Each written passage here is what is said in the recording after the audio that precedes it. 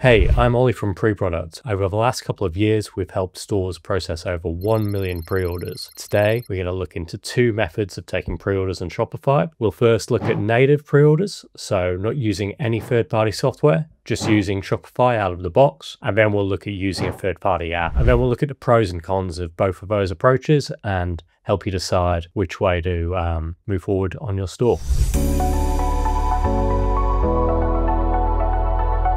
So, what are pre orders and why do they matter for Shopify, BigCommerce, any kind of e commerce store? Well, whether you're a small or a large e commerce brand, having enough cash on hand to purchase stock, fund your next line of products or your next kind of restock, it's always important. Pre orders are great at targeting that exact problem. So, boosting your cash flow. The way pre order generally work, I won't go into it too much details. You send a customer to a product page like normal, but you don't show them an add to cart button, you show them a pre order button. And from that point, the customer can click pre-order with the understanding that they're not going to receive this product in a normal time frame. It will be longer. That's very flexible. It could be a week, it could be a month, it could even be a year in some cases. And then when they're charged, that's also flexible. So some stores prefer to charge all pre-orders straight up front, just like a normal buy now. Great for cash flow, but if it's going to be one of those long couple month delivery time frames, maybe not as much of a great customer experience. So that's where uh, deposit based pre orders, 100% charge later pre orders come in. So that's a pre order. And um, yeah, of course, when your stock comes in, when you trigger any charges and fulfill that uh, product and those orders. But the whole thing about that is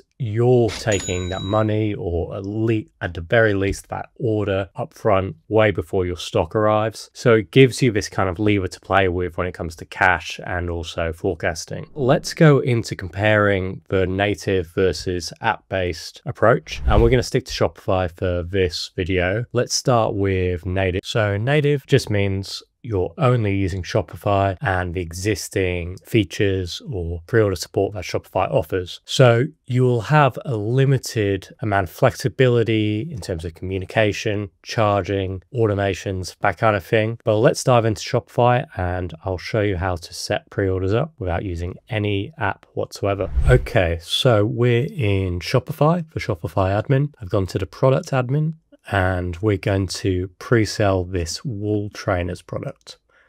So if we go onto the storefront, you can see we've got some in-stock sizes, and then we've got these out-of-stock sizes, and they're currently showing a sold out button. So to change that to display a pre-order button, we can come down here, click into the variant, and then click this box continue selling when out of stock. So that is pretty much the original pre-order feature of Shopify. These um, third-party applications that we're going to talk through in a little bit, they all tick this box. Basically, whenever you want to sell an out-of-stock variant or product in Shopify, this has to be ticked or else the checkout will reject it. So let's tick that and we'll just do it for the extra small and let's pop back into the storefront and one more reload maybe. So you can see it's showing add to cart as opposed to um, small where it's just showing sold out. This is great because we can actually now accept orders for this size if that's um, what the store owner wanted. But you can see there's just zero communication. So some themes will actually see that you're uh, allowing a zero stock product. They will show a pre-order here instead of add to cart. But even still, um,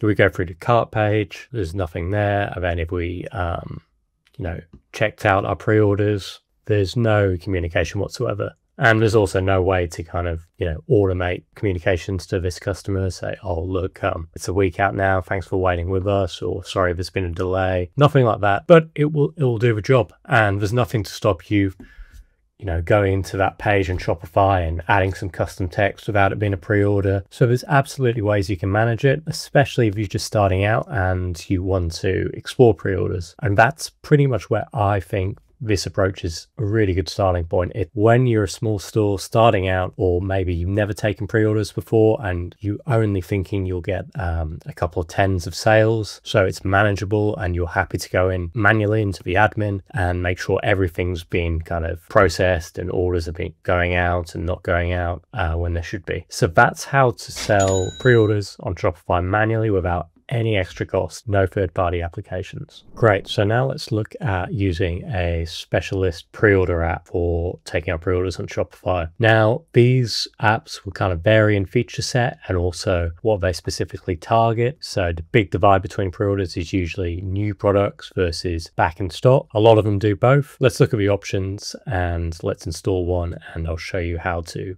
take pre-orders that way. So I'm just on apps.shopify.com, which is the Shopify App Store, and I'm just going to type pre-order in here and click through. So you'll see there is loads of different options and a lot of them have their own different take on pre-orders. So um, you'll see some are more about notifying and back in stock alerts, um, whereas others are a bit more kind of um, pre-order as in new products or yeah, they don't offer the back in stock option. We're going to use PreProduct today, which is the app that I help run. So let's click through to that. And a couple of the features, you'll see that um, there's for flexible charging, so charging customers up front, but as well as charging them later, using deposit-based pre-orders, that kind of thing. Fulfillment holds, so that's all about stopping Shopify orders from being um, fulfilled prematurely. You you take um, you know 10 pre-orders for a t-shirt, you don't want all your systems to start trying to prematurely fulfill those orders when there isn't enough stock. And then there's the communi- communication piece, which we'll have a quick look at, which is all about um, communicating on the product page for Storefront, as well as um, via an email campaign and customer portals, order status pages, just all these different touch points to make sure that it's a great customer experience, um, as well as alleviate kind of added customer support burden from your end. Cool. Let's click install. And I'm using a different test store for this one. So just a couple of scopes from Shopify, install. And here we are. I'm just going to go with the free plan.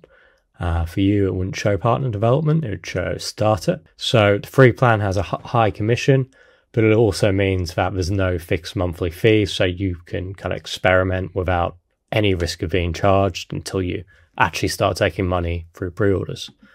So let's click that and approve.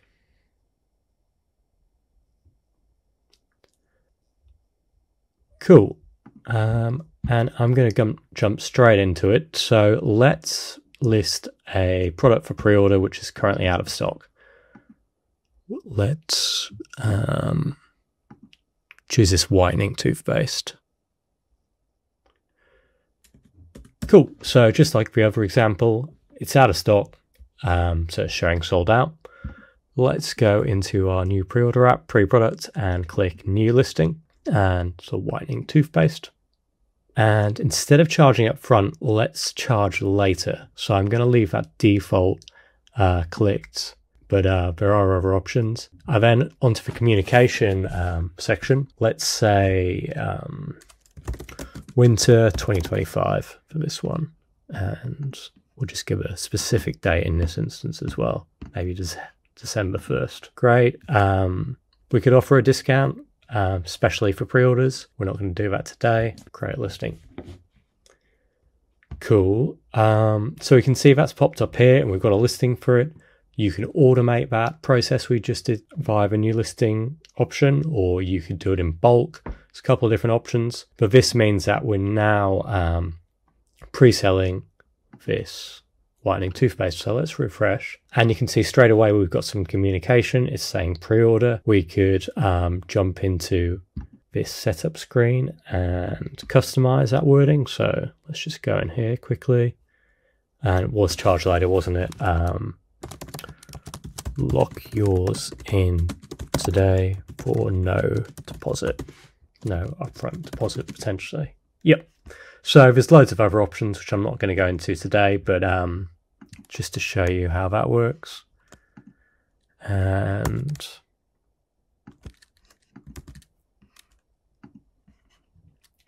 refresh it. Cool. So we've got our wording. Um, we should have some wording on the cart page as well. And then also on, on um, well, we'd have it on checkout. And then back into the app just to show you a couple of options. We offer these. Um, other pre-order apps will probably offer a combination or some or most of these as well. You've got your um, specialist pre-order dashboard. You've also got a customer screen where you can kind of navigate through all the customers. And then you've got your email flows, so you can kind of shape the customer journey with confirmation emails. You can send emails out when you're about to charge their card for the pre order. You can kind of have failed charge flows if the card expires. There's lots of different setup options you can experiment with. So, um, automations, for example, a lot of pre order apps are getting into this kind of thing. So, um, you know, weekly report, automatically listing pre orders as products go out of stock, all that kind of stuff. So, that's what it's like using a pre order app. And let's quickly have a look at what Shopify orders will look like. So, we'll see here I am, Ollie Woods, and you'll see it's payment pending and on hold, whereas the normal kind of buy now orders have got unfulfilled. So that's what's going to tell the rest of Shopify and the rest of your apps, look, this order, um, leave it alone until the on hold status has been changed and it's um, unfulfilled like the rest of the others. And just a couple of pre order best practices. It's really important to communicate your intended shipping time. So it might be a week, it might be two months, it might be a year. That's fine, but uh, it's really important to communicate that to customers, both for customer kind of success reasons and um, making sure that they have a good pre-order experience and continue to enjoy buying from your brand. But also, some countries have um, legal requirements around pre-orders where they say you, you really do need to um, explain to the customer when you're planning to ship and that this isn't a regular buy now order. Also, um, it's important to do a test pre-order first, see how an order coming in which doesn't have stock ready for it affects the rest of your systems. Small, medium stores, this will probably just work very easily. Bigger stores, maybe you're you have an ERP or a 3PL which needs to have a custom flow set up. It's all doable and all possible, but um, yep, test pre-orders are a good idea. Last of all, it's a good idea to promote your pre-order like anything else. It's not going to sell itself. However, pre-orders are a great marketing event. You can talk about pre-launch. You can talk about how you've been really excited about this and use it as an actual um, occasion to build up some hype and demand. So we look to using pre-orders and just Shopify without any third-party app, using that continue selling when out stock box. Then we look to using a specialist pre-order app and some of the features that you would expect, as well as uh, some rules of best thumb like communicating with customers and setting an, setting an expected um, delivery date. If you do want to have uh, go uh, taking pre-orders for your store, I'll leave a link to PreProducts in the description below. We have both a starter plan, which doesn't have any fixed monthly fee, as well as free trials and all our um, other plans. Cool. I hope that was helpful. Thanks.